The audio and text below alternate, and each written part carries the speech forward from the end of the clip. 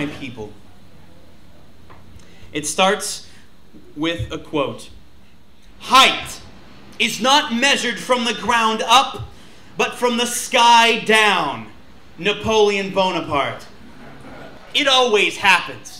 When I rock a microphone, I feel 10 foot tall and luminous, steel toed and bulletproof. But then I walk triumphantly off stage, and inevitably, some tall fucker walks up to me and feels compelled to state the obvious. Wow, Big Poppa E, you're not very big, now are you? well, allow me to fashion a witty retort. Fuck all y'all tall motherfuckers! Short people, short is not a shortcoming, it's a strength. All it takes to turn a tall person into a whiny little bitch is a road trip. But me, I'm stretching out and going to sleep. Fuck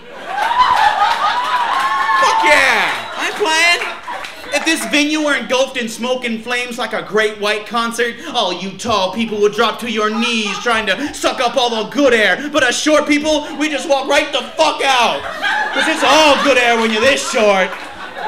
We short people are built for maximum maneuverability, dodging through crowds like liquid mercury, avoiding knees and elbows with acrobatic agility. Question If a tall person trips and falls alone in the forest, would there be a sound? Answer Fuck yeah, there'd be a sound! But me, I'm already so low to the ground that falling is like laying my head on a pillow. And I never bump my head on anything. If I bump my head on something, that's just too fucking low. And don't talk to me about reaching shit. Oh, hell no. That's why the good Lord invented chairs and tall people. Yo, Michael Jordan, give me that tuna can off the top shelf now, bitch. And yes, the rumors are true. Us short guys do indeed have small penises. That is, if you think a throbbing purple Eiffel Tower of flesh is small. Tall people are up to no good. All the truly innovative thinkers of the modern age have been short. Einstein, five foot three. Gandhi, five foot two. Tori Amos, five foot one.